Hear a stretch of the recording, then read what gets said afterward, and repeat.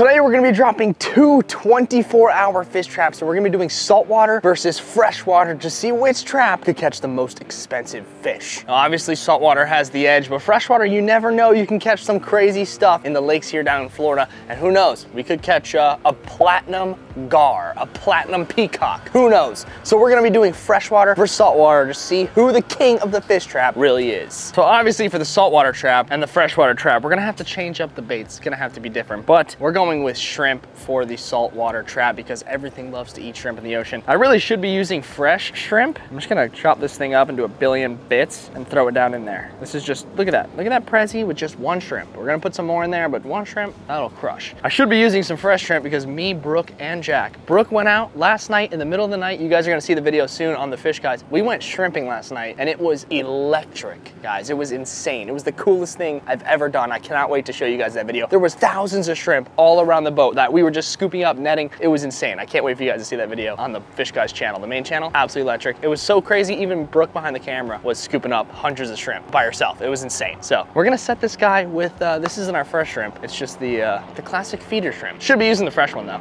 Now today we are doing a freshwater versus saltwater fish trap. As you guys know, it's been on my radar for a while. I think we had to try it. You guys wanted to see it. I mentioned it in one of my videos. You guys were commenting, definitely do it. We're gonna do it, but we have our saltwater trap. Where are we gonna place this thing? On the left, I am thinking under underneath the jet ski dock always does so fire for us guys, because right under my dock here, I don't know what it is. You're not gonna be able to see it, but there's like a big sunken log down here. It's huge, huge giant sunken log that the fish love to stay in there. So we're gonna drop this guy right underneath, right on top of that log is where I wanna drop it. I'm just gonna toss it in.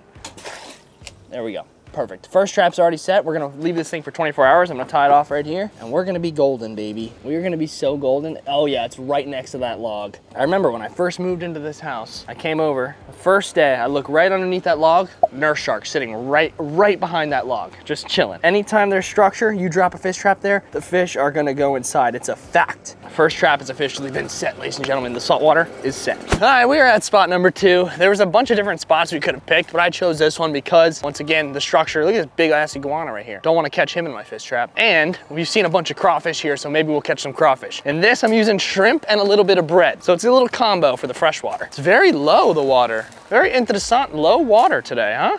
Now I'm just gonna throw this guy kind of shallow in this mud right underneath the bridge here because uh, guess what, structure? The fish like to cruise in and out of this bridge. Please, sir, I do not, I have nothing for you.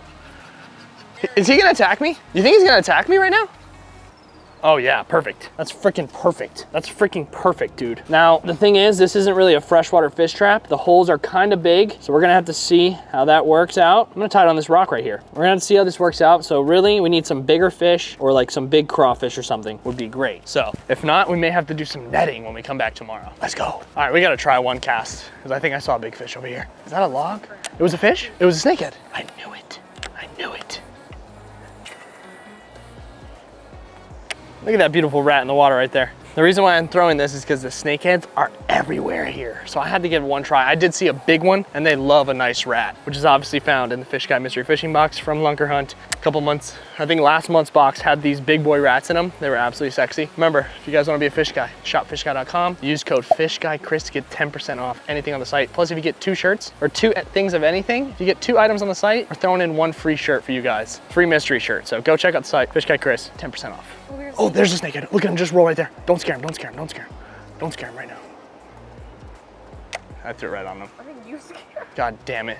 You scared the shit out of him. I did, huh? Damn it, dude. I just didn't want to throw this rat into the tree and lose it. Did you see that on camera though? That was a big, a big snakehead. They live under that patch every single time, dude.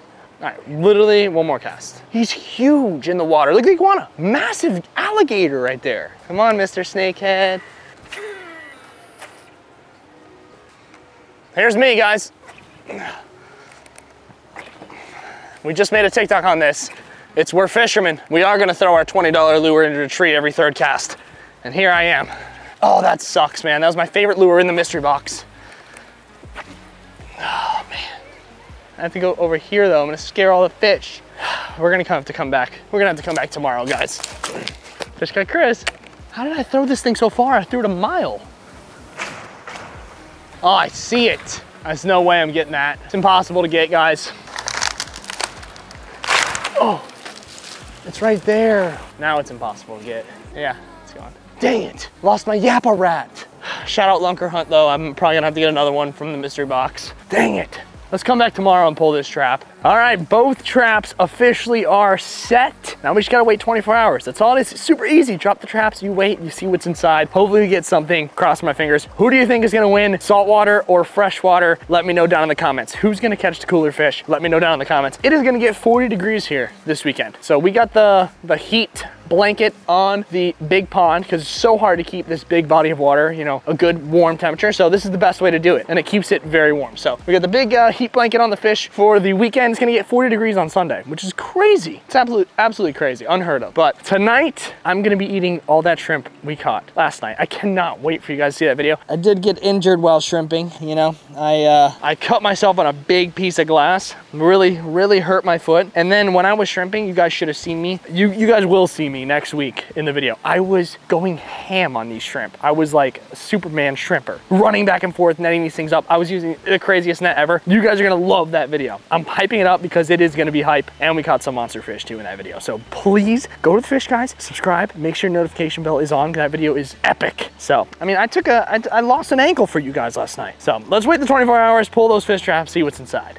See you guys tomorrow. Ladies and gentle fish, we're here. I brought my net just in case because I was thinking the whole night last night, I'm like, there's no, I, I might have dropped the trap with a little bit too big of holes in here. So I definitely didn't drop a freshwater fish trap, but who knows, we maybe got some crawfish. Let's see. Now 24 hours later have passed. So that thing's been fermenting. It's in the same spot, which is great. The water movement is, this, is just the same. It's fantastic. That's why I like the spot so much because I don't know why. There must be a spillway down, down this way really close because the water movement's actually pretty fantastic here. Not gonna lie. Sometimes the water comes up past this tree, sometimes it's way low. So it must be dumping and there's some nice current. But before I pull it, I'm gonna take a couple swipes, see if there's anything around with the net. And I see a bunch of little, when you see raindrops like that, those are fish, okay? When you see little raindrops, oh, those are little raindrops. No, they're not, they're fish. See, they stopped. They stopped raindropping right here because I came and scared them. Now they're over there. Wish I had my glasses. Don't have my glasses today. Oh my God, I just barely swiped. I just barely swiped. Like this guy could fit in the trap, I think. Or no, he might even be too small to fit in the trap. That's why I'm a little annoyed. Look at that minnow. I just barely, I didn't even try. And I just got one nice stud. Tiny Tim would love that. I think we're bringing him home. Let me just try a couple more swipes. I'm try a big swipe now. Zero. So I guess the key is to just not try. How did I just catch a minnow without even trying? Oh, I didn't mean to do that. What the heck is in there? I don't know, I see some suspect bugs. What is that thing? I don't think I should touch this. There's like a freaking tick looking thing. Oh, look at that minnow. What is that? Is that a minnow? I saw some weird thing crawling and I'm kind of scared. I have a bunch of minnows in here. Like, what is that? Ew, there's worms in there. Is it a worm? Yeah. That's a nice minnow. I'm grabbing him. That's a minnow. Look at this little guy. Is that not a minnow? I don't know what this is. I think that's just a little minnow. I think we're putting him in the bucket too. Tiny Tim can definitely eat this. We're gonna see if Tiny Tim can eat this one. The rest I kind of don't want to go through because uh, I think I saw some like worm slugs looking thing in here and it was kind of creeping me out. Like right there, what is that moving? Is that a shrimp? Is that a crawfish? I think that might be baby crawfish. What is that? Is that a baby crawfish? No. No, I think that's a baby crawfish. He's on this leaf. See him? Dude, that's like a craw. That's a baby craw. I think. If anyone knows in the comments, let me know. But that is an, a living species for sure, and it looks like a shrimp, kinda. So I think that's a crawfish. Not kidding. Dude, that's a crawfish. Let me know in the comments, guys. I'm putting them back. I'm putting all this stuff back because I don't want to go through that mud. But there is a confirmed 100% crawfish. I think we should. I think we should set. You know that big ass green trap I had the other day? That thing was way too big, obviously. But I think we should set a massive crawfish trap here because I know Jack's caught them before here, and we just confirmed it by catching that little baby one. So let's pull the trap. Hopefully, maybe there's some big ones in there, but that's not a crawfish trap. So I kind of messed up on that part. Let's pull it. That was a craw, 100p. Come on, there's got to be something in here, right? This rock is great. It's my perfect anchor. Come on, come on. I'm just gonna run it to the bucket. I don't think there's anything in here. We got skunked. We got skunked. Yeah, I, that was my bad. I should have. Uh, I should have definitely set a freshwater, actual freshwater trap here. Let me know in the comments what kind of fish trap you can, you think I should drop here. I know for a fact there's a bunch of fish. This was just a very poorly executed. That's that's me. That's on Fish Guy Chris. That's on me for sure. So let me know in the comments what you think I should drop here. Big snakehead here, big gar here. We know there's loads of fish and crawfish. I think it'd be really cool to do that. I'm gonna net up, net around a little bit more, and then uh, let's go pull our saltwater trap because we already know who's winning the battle today. It's got to be the saltwater trap, right? Let's go check it. We're back at the house. House, and obviously we're gonna pull our fish trap, but we gotta feed Tiny Tim. See if he wants to eat that monster minnow. Look at all the fish doing fantastic. They're eating like crazy. They're getting beefy nacho loaded griller status, guys. They're getting huge. So it's good. They're nice and full. They look nice and healthy. That's what we want in this tank. It's going great. You guys have been loving the tank series, and it's going fantastic. We're definitely gonna be getting some more fish very soon, but for now, we're gonna chill with what we got with these guys. Now I wanna feed, I wanna attempt to feed Tim, the beast, the literal mini beast. I wanna try to feed him that big minnow, see if he wants to eat it. Because remember, anglerfish or frogfish, they can eat like quadruple their size. So I did end up getting a bunch of minnows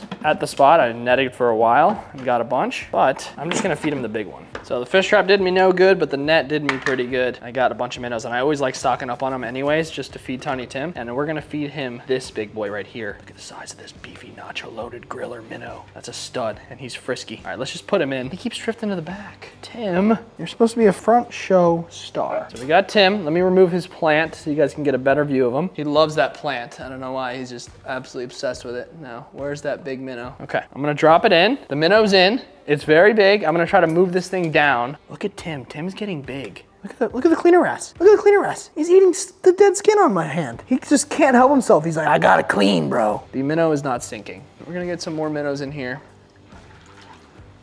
Okay, we got minnows. We got minnows. Throwing them in. Okay. Now let's see from the side if Tim wants to eat. Oh my God, look how beastly he, oh my God. You guys can see him much better now through the glass. That was sick. This this fish is an absolute savage. Look at cleaner wrasse.